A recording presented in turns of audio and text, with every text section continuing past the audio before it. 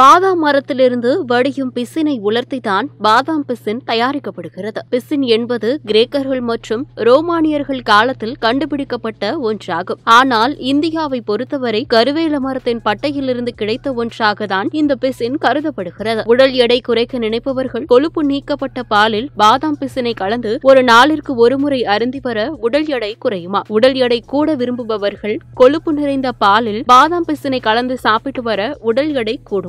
இந்த பாதாம் பிசின் பார்ப்பதற்கு பழுப்பு மற்றும் மஞ்சள் கலந்த நிறத்தில் காணப்படுகிறது. இதில் புரோட்டீன் சத்து நிறைந்து காணப்படுகிறது. மேலும் இது ஒல்லியாக இருப்பவர்களின் உடல் எடையை அதிகரிக்க உதவி புரிகின்றது. இது தசைகளை வலிமையாக்க சிறந்த ஒன்றாகவும் பார்க்கப்படுகிறது. இது மட்டுமல்லாமல் இந்த பாதாம் பிசினை குளிர்பானங்களின் சுவைக்காக பயன்படுத்துகின்றனர். அனைவரும் விரும்பி பருகக்கூடிய ஜிகிர்தண்டா போன்ற பானங்களிலும் இந்த பாதாம் பிசின் முக்கியமாக சேர்க்கப்படுகிறது. இது பெண்களுக்கு ஏற்படும் மாதவிடாய் பிரச்சனைகளுக்கு சிறந்த தீர்வாக அமைகின்றது. பிரசவத்திற்கு பிறகும் பாதாம் பிசின் சேர்க்கப்பட்ட லட்டை பெண்களுக்கு கொடுக்கும் வழக்கம் இன்றும் நடந்தேறி வருகிறதா? பாதாம் பிசின் ஒரு இயற்கையான குளிரூட்டியாக செயல்படுகிறது. இது உடல் வெப்பத்தை தணித்து உடலை குளிர்ச்சியாக வைத்திருக்கவும் உதவுகிறதா? இது மட்டுமல்லாது எல்லா வகையான உடல்நிலைக்கும் ஏற்ற ஒன்றாக பார்க்கப்படுகிறது. குறிப்பாக மருந்து தயாரிக்கும் நிறுவனங்கள் மற்றும் உணவு நிறுவனங்கள் இந்த பாதாம் பிசினை கிரீமாகி பயன்படுத்தி வருகின்றனரா? மேலும் இதை அளவோடு எடுத்துக்கொள்வது மேம்பட்ட ஆரோக்கியத்திற்கு சிறப்பானதாக